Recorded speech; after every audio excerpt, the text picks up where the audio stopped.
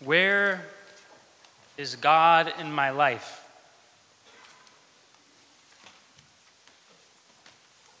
How do I experience Christ? These are questions that are often presented to us as priests. Where people will come and they will tell us God feels distant from us. He seems silent. And for those of us in which case we don't feel this God missing in our lives, perhaps more often than not, it's because we've substituted the living God with an idea of God, which in the end is nothing more than an idol. We do not have an experience the living God. The answer to these problems is given to us in today's gospel reading. The Lord said, If anyone wishes to come after me, let him deny himself, take up his cross, and follow me.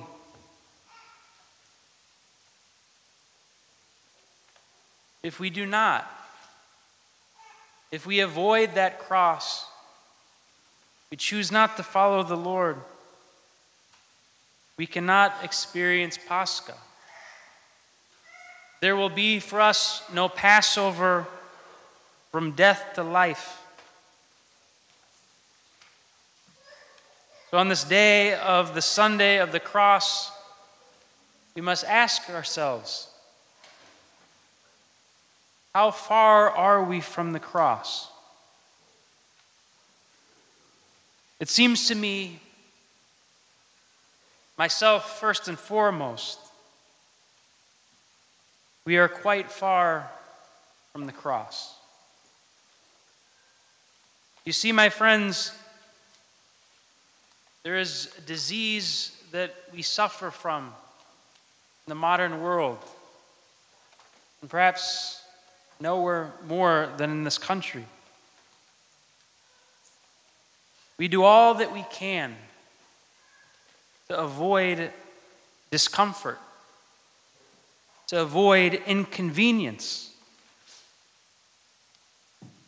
How can we imagine that we will take up a cross if we're unable to even allow ourselves to become discomfortable for our Christ?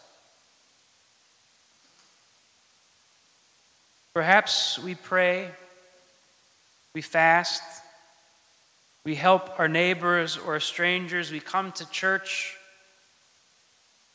And yet, how often do we stop any one of these things the very moment that it becomes uncomfortable or inconvenient? Or if in my case, when that discomfort or inconvenience is impossible to get out of it. And my presbytera will assure you this is true. I complain about it. And complain about it. What does it look like to take up that cross, to follow the Lord? The early years after the Russian Revolution, when the Civil War was coming to an end between the Red Army and the White Army, a village in which, for a long period of time, the White Army, the anti communists, had put up a strong defense, finally fell to the Red Army. And a young woman who had two children, whose husband had been a general in the White Army, knew that her time had come to an end. She had two very small children and was unable to flee. So she went outside of the village and hid in an abandoned house. And that night, she heard a knock on the door. And it was one of her neighbors, another young woman named Natalia. Natalia said to her, You must flee. They know where you are, and they will shoot you. The woman looked at her two small children and she said, I can't. I can't flee with these two children. Both are death sentences. Natalia said to her, You don't have to run. When the soldiers come to this house, I will remain and I will say to them that I am you. The woman says, How can you do this? Then you will be shot. And Natalia says, I have no children, you have two. And she suffered martyrdom. This, my friends, is what it looks like to take up our cross and follow the Lord. If we truly desire to encounter Christ in our prayer and are unable to follow the Lord to Gethsemane, at least let us pray until we experience a little discomfort. Stand a little longer. Wake up a little earlier. With our fasting, how often, again, I'm guilty of this. I followed the letter of the law. And yet, how seldom do I experience any hunger? We desire to experience the providence of God, to have that tangible experience where we can say, God was here in our life of giving alms and stewardship. Let us not stop as soon as it becomes uncomfortable, but let us give.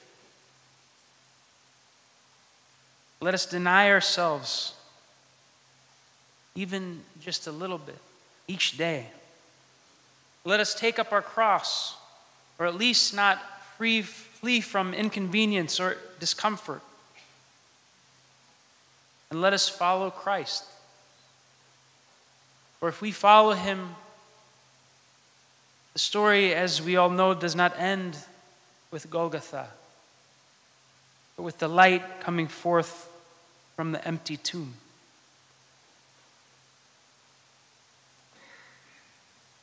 Some of us, looking at the story of Natalia, or the death of our Lord on the cross will say, This, Father Micah, seems too heavy for us.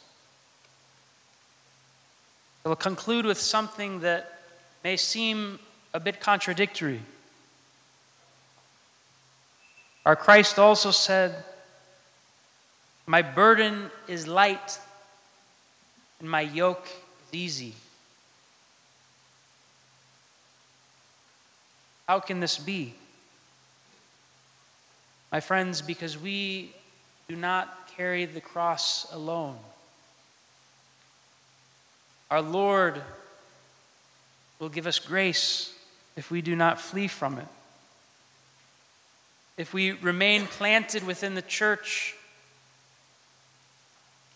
like Moses when his arms could no longer be held up, and we unable to carry our cross, the church will come and lift up our arms. One of the great saints of the 20th century was a priest named Demetrius. And when he was born, he was a very sickly child. And they didn't think that he was able to survive, so the whole family gathered around him, this faithful Orthodox family and they prayed. They had already done an emergency baptism for him. And one of the family members walked up to him and took that little baby's hand and made three fingers and did the sign of the cross. thinking if this child won't survive the night, at least that last action will be the cross. The church will help us bear that cross. Years later, Demetrios, having survived, exiled from Russia, finding himself in Paris during the Second World War, followed Christ in his love for the neighbor.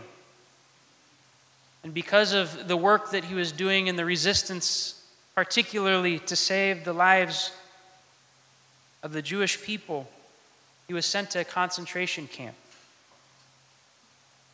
And there, from one of his fellow camp members, we learn of his end. How he would give up the little food that he had to those that needed it more until there was nothing left for himself. They sent him to a tent they called the medical center, but there was really nothing there. And there he was laying there, next to another Russian man. And St. Demetrios turned to him and said, I'm unable to lift my hand to make the sign of the cross. Take my hand in yours and make the sign over me. And so it was that St. Demetrios entered into the kingdom of God in glory, having borne the cross of our Christ. May each and every one of us, through the grace of Christ, the intercessions of the saints, the prayers of each other, take up our cross and follow the Lord. Amen.